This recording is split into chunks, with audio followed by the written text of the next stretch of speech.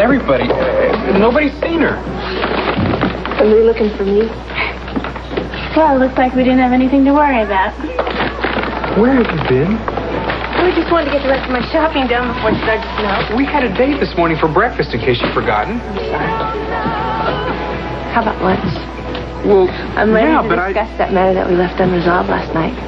If you're still interested. I, I'm still interested, MJ, Why are you doing this, Adam? Because I care about you. I care about you, too.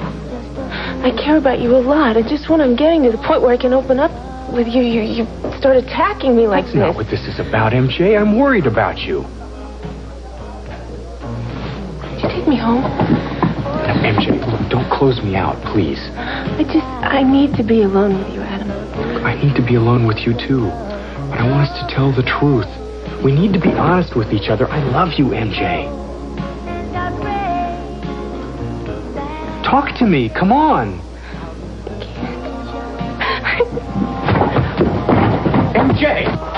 MJ!